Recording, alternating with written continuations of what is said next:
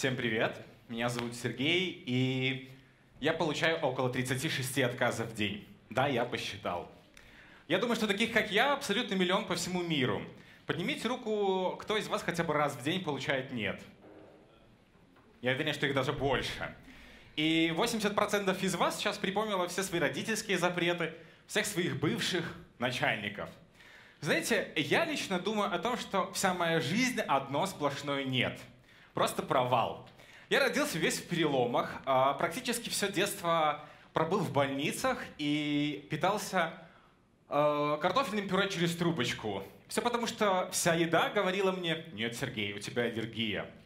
И знаете, все хорошо. Вот только представьте маленького мальчика, который приходит на детский утренник, и все вокруг едят мороженое, шоколад, торты, а я такой в сторонке. И знаете, мне действительно было нормально. Все потому, что другие родители говорили, нет, давайте сегодня без Сергея. Меня просто не звали на эти мероприятия. Так, в принципе, а, прошло все мое детство, а, юность. И в какой-то прекрасный момент я просыпаюсь и думаю, блин, я маркетолог от Бога. Все. А, я сделал резюме, разослал примерно в 10 рекламных агентств. Сижу, жду.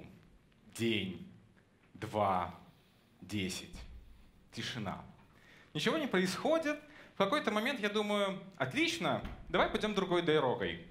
Я договорился на какое-то собеседование, не знаю каким чудом, пришел, надел лучшие брюки, белую рубашку, начистил туфли, рассказываю, какой я замечательный человек, какой крутой специалист, практически жонглирую словами. И знаете, что они мне ответили? Нет.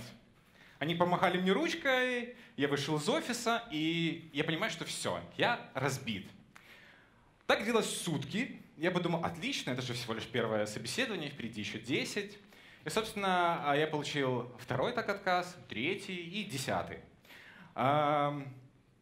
Где-то около нескольких месяцев я думал, действительно, мир зло, никакого чуда не произойдет, все ужасно.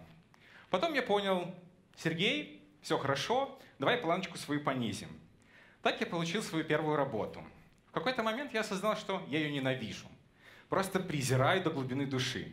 Как и вторую работу, и третью работу. И вот подумайте, а что такое оттерпеть один год, когда ты ненавидишь работу? Это нормально. Все мы проходили распределение. А, вот только представьте 5 лет вот так прожить, 10, 20, всю жизнь. И это действительно ужасно. А, я помню момент своего эмоционального накала. Я сидел на кухне, у меня был абсолютно пустой взгляд. А, это действительно длилось месяцами. В один прекрасный день ко мне пришла подруга и сказала, Сергей, я тут, чтобы поддержать тебя. Это был такой щелчок. Я осознал, что я нахожусь на каком-то эмоциональном дне, от которого необходимо как-то выбираться. И знаете, все получилось.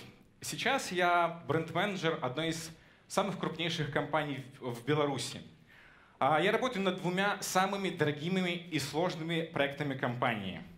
Я получаю те самые 36 «нет» каждый день от своих руководителей, подрядчиков, коллег, друзей. Вот только сейчас я воспринимаю их абсолютно нормально, потому что моя история научила меня нескольким вещам. Во-первых, всегда стойте на своем. Неважно, что происходит вокруг. Хотите петь – вперед. Хотите вышивать крестиком – пожалуйста. У вас все получится, самое главное – желание. Не надо гнаться за всеми деньгами этого мира. Все получится, если захотеть. Потому что нет – это всего лишь одна э, из форм ответа. Вы можете получить «да», вам могут сказать «нет», вам могут сказать «да нет, наверное». Когда я устраивался на эту работу, мне сказали «Сергей, давай попробуем». И мы попробовали, и все удачно получается. При этом всегда не забывайте, что эмоции — это часть вас самих. Дайте им волю.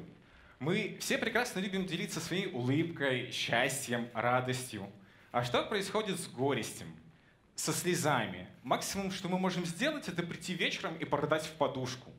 И это действительно самое лучшее, что вы можете сделать. Обычно мы все а, отрицаем свои негативные эмоции, пытаемся их скрыть. Мы же все сильные, да, как скала. Вот только а, сила заключается в том, чтобы быть честным по отношению к себе. Дайте себе возможность пострадать какое-то время. Помните, что это все действительно временно. отстрадали и пошли дальше. Про то самое эмоциональное дно, про которое я говорил. А рано или поздно вы сами захотите оттуда выбраться. А, вспомните, как в детстве вы смотрели на все огромными большими глазами. Воспринимайте нет как какую-то игру. Вам отказали, вы по какому-то алгоритму пошли дальше. Это новый уровень, новый этап. Скажите себе а, тоже нет. Объявите нет челлендж, да? А, придите домой сегодня, запишите на бумаге 10, 100 последних отказов, которые вам давали и говорили. Посмотрите на них совсем другими глазами. Возможно, вы сейчас скажете, что все это смешно.